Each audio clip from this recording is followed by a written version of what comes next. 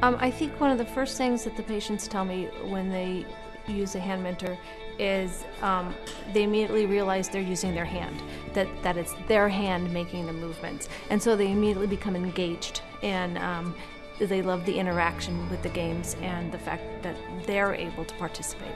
It's also easy for the caregivers to learn for the people that can't set themselves up. Um, it's the touch screen allows you to go between the programs quite easily. Um, actually, I absolutely think the hand mentor would be a wonderful part of a home program. Um, I think it would engage the patient um, because of its ease of use. Um, very little caregiver involvement is required, and um, it would allow the patient the active repetitive motions they need. Um, it provides the engagement they need um, to continue with their home program.